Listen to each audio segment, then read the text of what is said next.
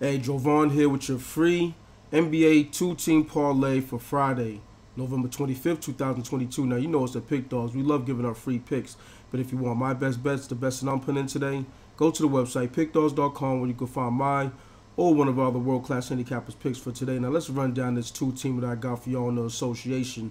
Now, first, we're going to go to Memphis, where the New Orleans Pelicans are facing the Memphis Grizzlies. And these two teams played about a week ago, I believe, without Ja Morant. And the final result was New Orleans Pelicans won the game by 11, 113 to 102. But I think in this one, you know, quick revenge spot turnover game, you know, quick turnover from last week. I think Ja Morant and the boys get it back.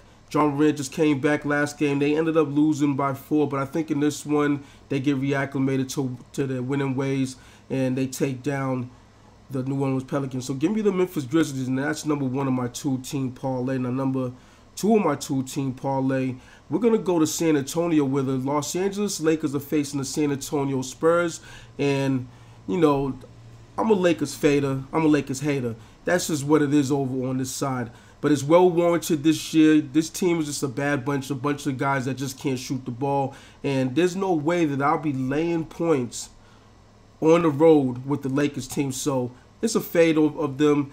Give me the Spurs catching points, catching five points at this point in um in this one. So give me the Spurs, and that's number two on my two team parlay. Now let's reiterate this one.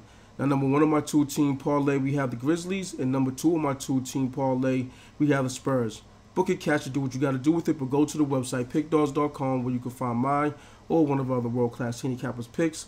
Now smash that like button, let's get this money, and hit the book where it hurts.